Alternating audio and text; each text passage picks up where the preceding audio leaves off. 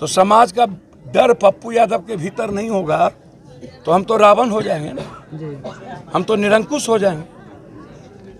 हर नेताओं के भीतर रमेश की हत्यारा बचेगा नहीं। आप भरोसा रखिए पूरी ताकत के साथ आकाश पताल में भी होगा तो स्पीडी ट्रायल करके फांसी की सजा होगी। आज जितनी बड़ी भीड़ या हमने रास्ते से देखा हर आदमी के आँख में आँसू या हाथ जोड़े हुए। और जब हम उसके घर आए, उनके बच्चे, उनकी बेटी को, उनकी पत्नी प्रमुख साहब की घटना हत्या हो गई, लेकिन अभी तक हम उस पर ठोस मुकबल कोई बोलने की हिम्मत नहीं कर रहा है, सहनी साहब। क्या है भाई। कारण क्या है?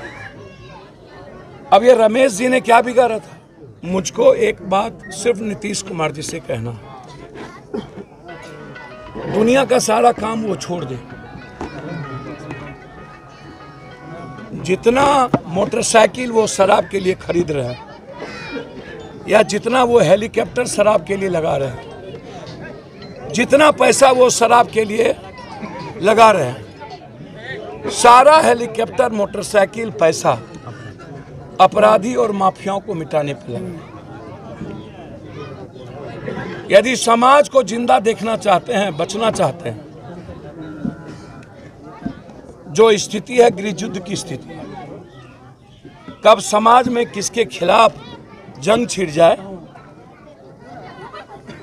और मुझको लगता है कि क्रिमिनल और पुलिस में आप बलथरपुर की घटना, हिलसा की घटना, पलवलपुर की घटना, जगदीशपुर बाबू वीर कुंवर सिंह के पोते की की घटना पुलिस के द्वारा मारते मारते मार देना, न्याय के लिए जब उस परिवार को न्याय ना मिले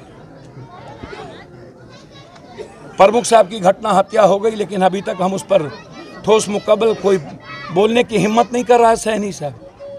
क्या है भाई? कारण क्या है? अब ये रमेश जी ने क्या बिगाड़ा था? एक सप्ताह में तीन बार हम आवे, विपिन अग्रवाल और उसके बे बेटा रोहित पर कोई चर्चा नहीं हो, वहाँ के थाना प्रभारी पर कोई चर्चा नहीं हो और डर भी ना हो कानून का ना नेता के भीतर डर पब्लिक का और ना अपराधियों के भीतर ना समाज का। तो समाज का डर पप्पू यादव के भीतर नहीं होगा तो हम तो रावण हो जाएँगे ना। हम तो निरंकुश हो जाएँगे। हर नेताओं के भीतर पीएम और सीएम के भीतर जनता का डर होना चाहिए। तब हम आम आदमी के न्याय की बात कर पाएँगे। आम आदमी की सुरक्षा की बात कर पाएँगे। हम राम राज की कल्पना करना चाहते हैं, राम नबी है। राम आज रमज़ान है। हम राम राज की कल्पना कैसे करिएगा? बिना आम लोगों की सुरक्षा के। मैं आपको विश्वास दिलाता हूँ, रमेश जितने लोकप्रिय थे और सबके लिए जीते थे, सबकी मदद करना कोई मतलब जाति, धर्म, मज़हब का नहीं था। आज जितनी बड़ी भीड़ या हमने रास्ते से देखा हर आदमी के आँख में आँसू या हाथ जोड़े हुए।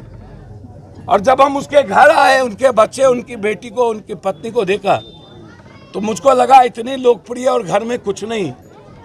क्या उन्होंने अपने परिवार के लिए और खुद के लिए कुछ नहीं किया? फिर इस घटना के पीछे कारण क्या है? तो मुझे लगता है कि इस घटना के पीछे सिवाय पॉलिटिकल मर्डर राजनीतिक वर्चस्व। और रमेश की लोकप्रियता और उसके काम करने के तरीके ने रमेश को किसी ने मरवाने का काम किया। मारा है शूटर, सीसीटीवी कैमरा है, लोकेशन है। उस पर यहाँ के प्रभारी, यहाँ के सभी लोग काम कर रहे हैं। कुछ लोग भाग गए, कुछ लोग नेपाल भाग गए, कुछ लोग कहीं भाग गए हैं। लगातार प्रशासन उस पर काम कर रही है। समाज काफ़ी क्रोधित है, आक्रोशित है। हमें आवाज़ देनी होगी, बहत्तर घंटे के बाद भी हम रमेश के हत्यारे के पर सुराग पर नहीं पहुँच पाए तो समाज को लड़ने की हिम्मत जुटानी होगी। समाज एक डेट फिक्स करे, पाँच तारीख के बाद। यदि पाँच तारीख तक प्रशासन ने शूटर को नहीं गिरफ़्तार कर पाया। आप मरवाने वाले को गिरफ्तारी में देर हो सकती है। शूटर क्यों? अपराधियों का कॉल डिटेल हम निकालें। मोबाइल का लोकेशन देखें वो कहाँ है। और कौन कौन इस इलाके में सबसे बड़े शूटर है? सीसीटीवी क्या कहता है फुटेज? और उस अपराधियों का डिटेल, कॉल डिटेल किससे बात हुई?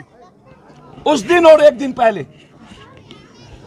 तब पता चलेगा कि शूटर और साजिशकर्ता के बीच कब कब और कब क्यों बातचीत तो फिर हम उसको न्याय दिला पाएँगे।